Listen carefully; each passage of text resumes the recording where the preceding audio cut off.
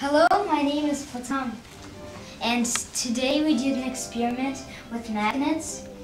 Hi, my name is Max, and today we made electrical electrical magnets. There are two kinds of magnets, an electrical magnet and a na natural magnet. We made an electrical magnet. And um, we, we learned how to make a magnet using a copper wire with insulator, a nail, and a battery. This is how you make it. You get a piece of wire and you wrap it around a nail. And it will look like this. Look, the closer you wrap it around together, the more powerful it is. You don't have to wrap it around a nail. But if you just wrap it around in midair, it will be less powerful.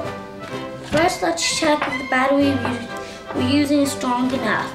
It was 1.39. Let's test if there's a stronger battery. This one is 1.51. And as you can see, the, the magnet's wheel is following get everywhere. Alright. Everything else like that. Alright. Let's see how much I can pick up.